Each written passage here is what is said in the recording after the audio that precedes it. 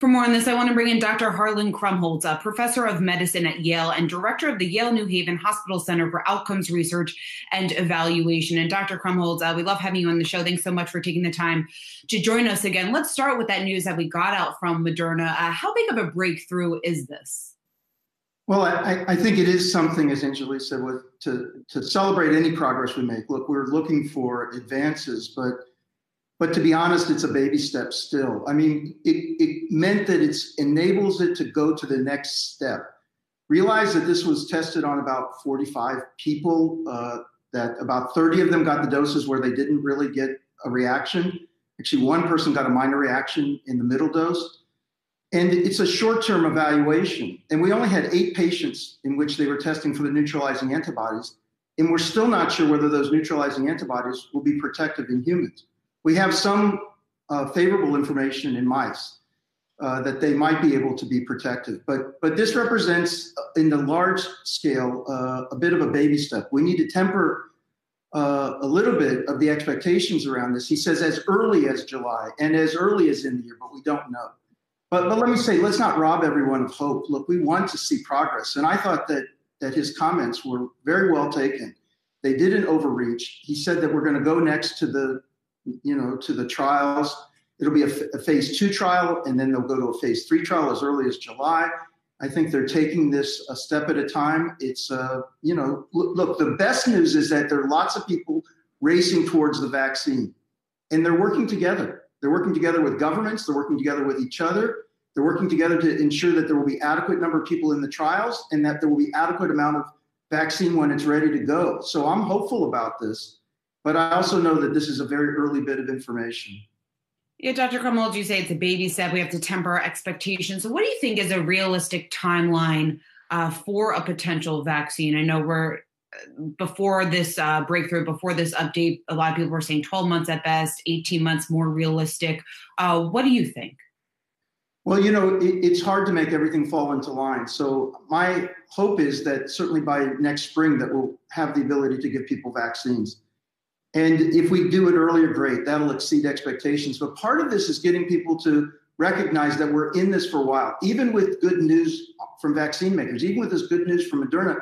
And I don't mean to in any way suggest it's not good news, but it's still going to take a while. And I think we should be thinking that we're talking about spring or summer. It would be fantastic if it occurs earlier, but that means our mindset needs to be put in the way about how do we protect people now? How do we protect people as economies are reopening? And we're going to be in this situation for a while.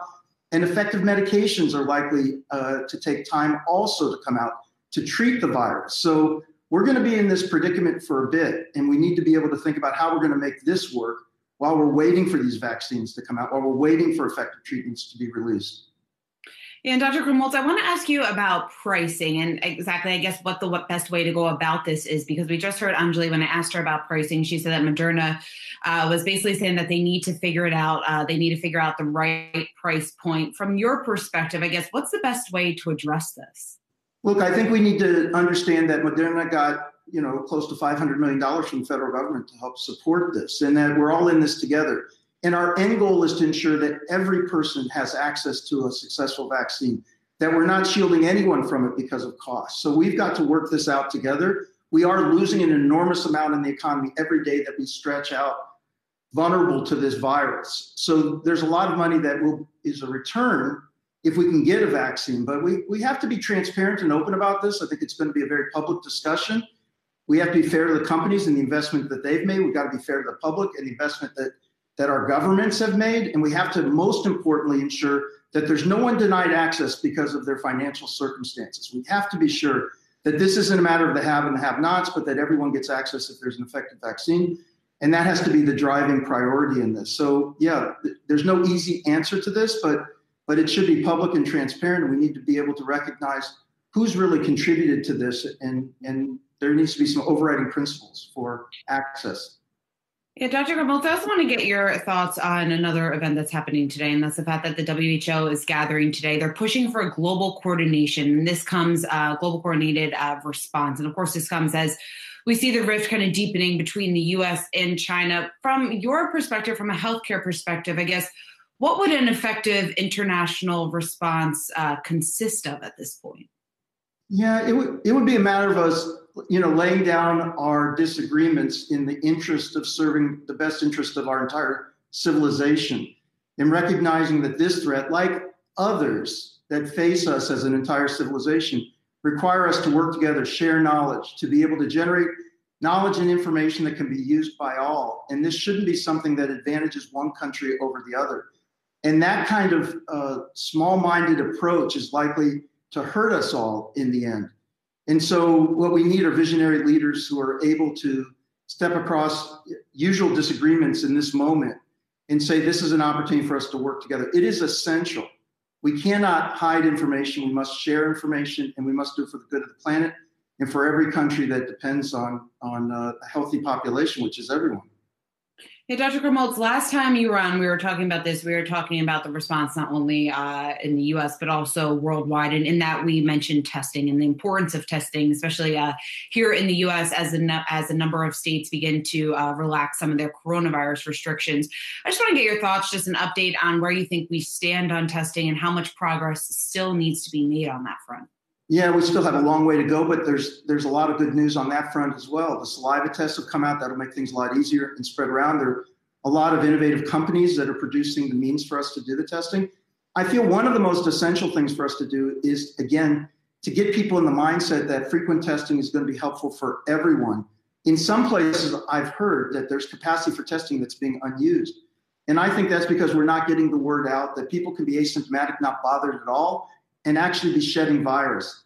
And for people, especially essential workers, people with high contact with the public, service industry, we need to get into a routine, a cadence where testing just becomes automatic and we can tell who's shedding virus, who's not, and then be able to make the appropriate actions as a result. It's not about testing the people who are symptomatic, but we have to be able to understand and, and identify people who don't even know that they're shedding virus. Look what they're doing in China. As cases started to occur in Wuhan, they said, we're going to test 11 million people. We're going to test everyone. We're not just going to go after the people who are symptomatic. In this country, we need to get in the mindset that routine testing will help us get through this. Understand who's shedding, who doesn't know it, people who don't know it, and to be able to stop the chain of transmission. So we need to increase capacity, but we also need to change our mindset so that we all understand that even if you're feeling well, if you're in an industry where you're interacting with people a lot, it's going to be good practice to be doing frequent testing. And Dr. Krumholz, of testing is so important. We also talk about uh, graduating into the next phase of these reopening efforts that's going on across the country. And in that, one of the last phases will include schools. And that's become a hot topic over the last week or so. We had President Trump and also Dr. Fauci making some comments about uh, potential timing of when schools could reopen, whether or not universities will be in a position to reopen in the fall. Uh, from what we know at this point, just what is your perspective on all of that? Yeah, I think it's going to be a challenge. Uh, many places are intent on trying to help us return back to normal and get people together. The college experience, of course, intrinsically depends on people being able to interact. But the college is going to have to be ready with, with really massive ability to test. And then we're going to have to figure out what are we going to do when the first person gets sick? You know, these college dormitories are like cruise ships in a sense. You know, you've got everyone together, they're all mixing, and and so we're going to need to have plans in place. So we're going to start isolating everyone you've been in contact with. And how's that going to work? In many of the colleges, they don't have the capacity to put people in single rooms. I mean, we've been talking a lot about this in Connecticut in a task force led by Rick Levin, former president of Yale, Linda Lorimer, leader at Yale. You know, they've been trying to work with all the others. And, and the other thing we've recognized is the colleges are all very different. Some community, people are living at home, some where people are going off to school. I don't think we've sorted this out well enough yet. And they're going to need to be clear plans, not just about how we're going to be surveilling that population, how we're going to be caring for people who get sick, but what are we going to start doing when people start testing positive? And many of them are within cities. And how are the cities going to manage that when people within the college start becoming sick? So there's lots for us to be thinking about. We've got just a little bit of time left before you know fall comes, but it's going to require, I think, a lot of good minds getting together and trying to put together plans and contingencies for this. Yeah, I certainly agree with you there. Uh, Dr. Harlan Krumholz, professor of medicine at Yale, also director of the Yale New Haven Hospital Center for Outcomes Research and Evaluation. Thanks so much for uh, joining us again on the show. We love having you on, uh, you giving uh, us uh, your perspective. So thanks so much. Thank you.